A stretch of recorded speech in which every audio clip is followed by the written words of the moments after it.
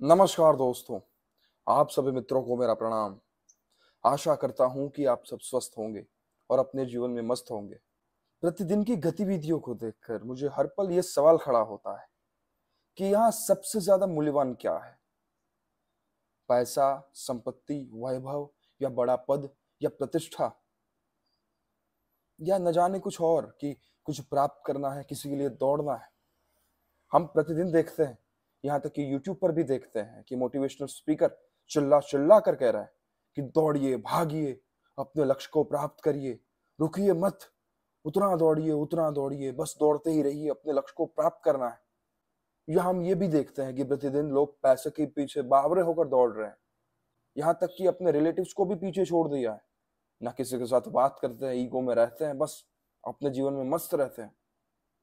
तो सबसे ज़्यादा मूल्यवान क्या है? कोई ये कहेगा कि यहाँ पर तो व्यक्तिगत मूल्य है चीज़ों का। किसी के लिए पैसे का मूल्य है, किसी के लिए गाड़ी का मूल्य है, किसी के लिए ऊँचे पद का मूल्य है। पर मैं कहता हूँ, जीवन के अंतिम क्षण तक जो सार्थक है, ऐसी चीज़ है क्या जो अति मूल्यवान है? ये शब्द भी गलत है, मूल्यवान। क्योंकि मूल्यवान कहते हैं तो कोई ना कोई मूल्य तो निकलता है। तो हम ऐसा शब्द प्रयोग करेंगे कि अति अमूल्यवान चीज़ क्या है कि जिसका कोई मूल्य ही नहीं लगा सकता। सोचिए समझिए कि क्या है वो जो अति मूल्यवान है। क्योंकि मैं भी बीमार रहा हूँ अल्सराटिव कोलाइटिस से पाँच साल तक। उसमें भी यही सवाल खड़ा होता था।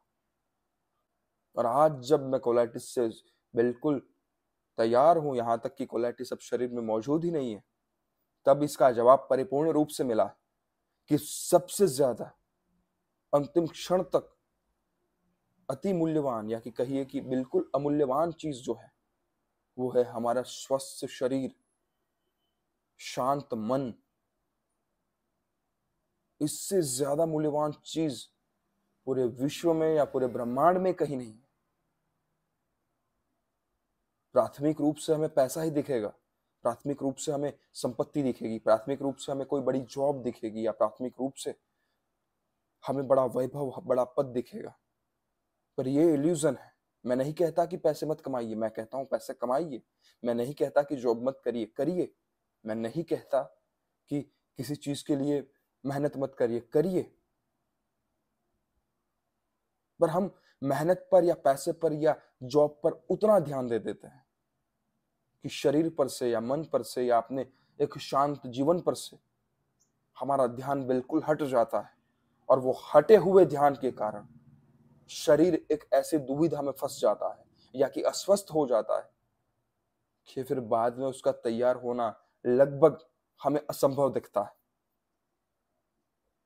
और ख्याल कीजिए, आप चाहे कोई भी बीमारी में फंसे हो, कोलाइटिस हो या क्रॉन्स हो या कैंसर हो या टाइप टू डायबिटीज़ हो या न जाने अन्य और कोई बीमारियाँ हो, सब में भी किया क्या है?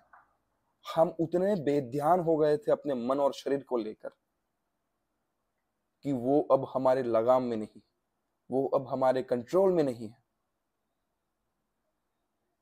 अगर पैसे से सारी चीज़ें ठीक हो सकती थी तो आपने बहुत पैसा खर्च किया है अपनी बीमारी को ठीक करने के लिए। बड़े बड़े डॉक्टरों के पास गए हैं आप बड़े बड़े अस्पतालों में दिखा कर आए किसी ने कहा कि यहाँ जाइए, आप वहाँ गए किसी ने कहा, आप ये करिए, आपने वो किया। मैंने बहुत बड़े मैंने बड़े बड़े लोगों को देखा है, मैंने बहुत सारे लोगों को देखा है कि जो लोग बीमारी से पहले ईश्वर में बिलीव नहीं करते थे या कि इसको बस यूँ मामूली चीज़ समझते थे। अब जब बीमार पड़े तो वो बहुत सारे आस्तिक हो गए यानी अति आस्तिक हो गए। तो क्या नहीं किया? और ये सार्थक होता है कि पैसे लगा रहे हम दवाइयों पर या अपने हेल्थ पर पर शरीर है कि रिकवर नहीं हो रहा। और हम देखते भी भारत में और विश्व भर में बहुत बड़े बड़े अमीर लोग भी कैंसर से पीड़ित है और इसका कोई इलाज नहीं। कैंसर तो महज एक ज़रिया है। टाइप टू डायबिटीज़ है ओवर वेट है बॉडी का, या खराब digestion system IBD IBS Crohn's ulcerative colitis या न जाने अर्थराइटिस की बीमारी है। हम्म या किसी विटामिन की डेफिशिएंसी है, या बॉडी में न जाने और कोई अन्य रोग है, जिसका अभी तक साइंस को पता भी नहीं है। मैं बाय बॉर्न डिसीज की बात नहीं कर रहा, जन्मजात रोगों की बात नहीं। पर ऐसे रोग जो शरीर के स्वस्थ होने के बावजूद भी शरीर में प्रवेश करते हैं। और हम है कि दौड़ रहे हैं, उतना दौड़ते हैं कि बस कमा लेना है। कमाइए, ज़रूरत है, उसके सिवा जीवन नहीं चलेगा। पर उतना कमाना, उतना ध्यान उस पर दे देना कि शरीर ही ना रहे। ये तो धोखेबाजी हुई अपने शरीर के साथ। और ठीक होने के बाद ये मूल्य मुझे परिपूर्णता से समझ में आया है कि सारी चीज़ जाए भाड़ में, सला शरीर और मन बिगड़ना नहीं चाहिए। तो यही होता है हमारे पास कि व्यक्ति अपने जीवन के पचास साल लगाकर पैसे कमाता है और फिर वही पैसे अपने हेल्थ के पीछे लगाता है, क्योंकि अब तो पचास साल के बाद शरीर बीमार पड़ेगा ही। क्यों पड़ेगा? सीधी सी बात है, किसी भी गाड़ी को हम ओवर स्पीडिंग में चलाएँगे तो वो बीमार पड़े तो वो खराब होगी ही होगी, या कि उसका मेंटेनेंस आएगा, रोज ज़्यादा ही आएगा। कम चलाएँगे तो कम मेंटेनेंस आएगा। अब वो पचास साल तक उतनी रफ्तार से भागे मन से और शरीर से तो उसका मेंटेनेंस तो बनता है, अब जो कमाया है, वही तो लगाना पड़ेगा। तो सार्थक क्या हुआ? शरीर और मन, स्वस्थ शरीर और शांत मन, यही यथार्थ है अंतिम क्षण तक। देखा है कभी बड़े बड़े अस्पतालों में जाकर? जो बीमार है वो तो गए हैं, पर जो बीमार नहीं है उनके लिए बात है। बड़े बड़े अस्पतालों में रिसेप्शन पर बहुत बड़ी भीड़ लगती है कि इसका केस या उसका केस या इसको ले लीजिए या इसको ले लीजिए। उनके रूम्स में गए हैं, बहुत सारी बोतलें लगी हैं या बहुत सारी मेडिसिन हैं, लोग पीड़ित हैं, अपने डर अपने पीड़ाओं से चिल्ला रहे हैं। स्वस्थ शरीर से ऊपर इस दुनिया में कोई चीज़ नहीं है। सपोज़ ख्याल करिए कि आपके पास 500 करोड़ रुपया है, आपके अकाउंट में है प्योर व्हाइट मनी पर साला कुछ ऐसी बीमारी हो जाती है कि आप उन 500 करोड़ रुपए को भोग नहीं पाते तो क्या करेंगे उस पैसे का? मत कहिए कि बच्चे संभाल लेंगे संभालेंगे बच्चे, पर शरीर जो भोगने वाला है, वो आपका है। हमें पैसे कमाने से कोई प्रॉब्लम नहीं है। पैसे को हम भोगेंगे, ये जो उसका ईगो है ना, यही दिक्कत खड़ी करता है। अब 500 करोड़ कमा लीजिए और कुछ बड़ी बीमारी आ गई तो करेंगे क्या? मैं नहीं कहता कि 500 करोड़ नहीं होने चाहिए, मैं तो कहता हूँ होने ही चाहिए। हज़ार करोड़ होने चाहिए अकाउंट में। पर शरीर को साथ रखकर, मन को मन को साथ रखकर। बाकी पैसे तो भर भर के इस दुनिया में। मुझे ख्याल है, मेरे दादा बात किया करते थे कि बेटा, हम खेत में हल चलाते थे, हमारे पास बिल्कुल पैसे नहीं थे।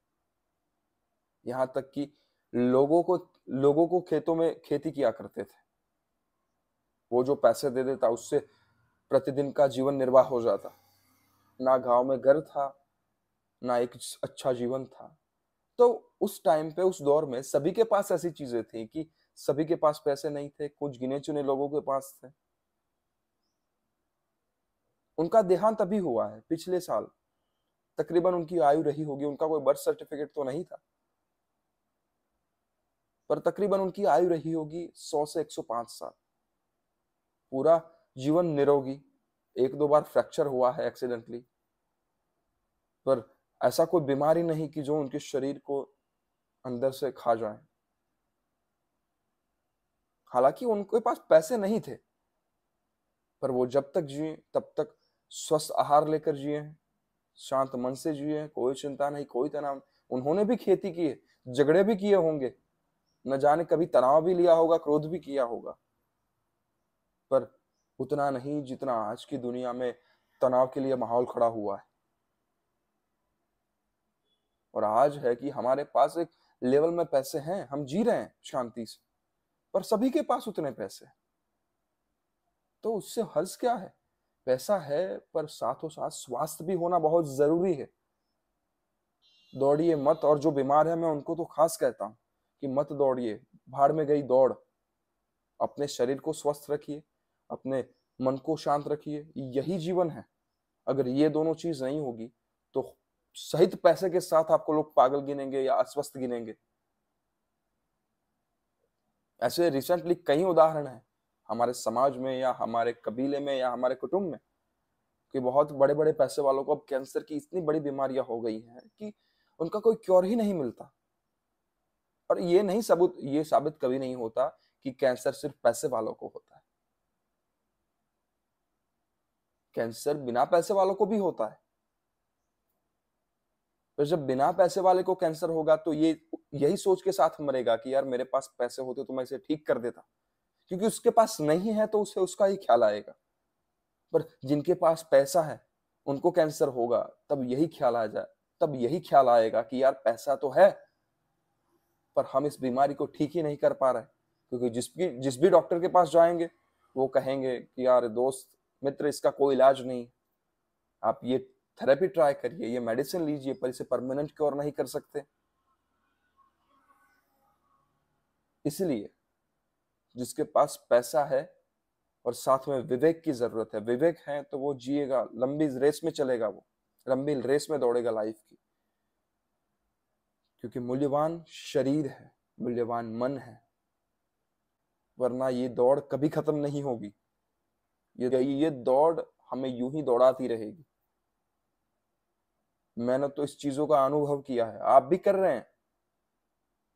इसलिए विवेकपूर्ण शांत बनिए। विवेकपूर्ण अपने शरीर को स्वस्थ रखने का प्रयास करिए। जिए शांति से। मत मत जाइए कंपैरिजन में, ये आगे जा रहा है, जाने दीजिए। शरीर स्वस्थ रहेगा, सब कुछ हम भोग पाएँगे। सब कुछ, हम माउंट एवरेस्ट को भी देख पाएँगे।